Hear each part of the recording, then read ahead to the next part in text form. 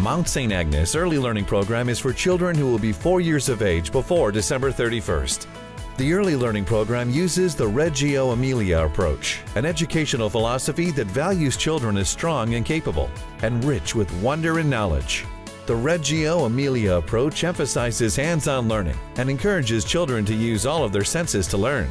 It teaches through exploration and discovery, our days in the early learning program are very busy, very fun, very exciting, very messy, but very busy. First thing in the morning, we have our morning circle where we kind of discuss the calendar, the weather. Children then share stories and then from that point they kind of tell me what they're interested in. We start a discussion and then from there I listen to what they have to say. So we have a variety of learning stations. We have the creation station which is filled with lots of um, provocations of natural things like shells and corks and wood chips and rocks and twigs and all of those fun things which really gets them to be creative and use their imagination. And we have a fine motor station which is usually clay or Play-Doh and then we move on into the art station. We have the library which is really cozy. We have the carpet which is filled with blocks and anything you can imagine. We have the light projector, we have a light table, we have the sensory bin which is always filled with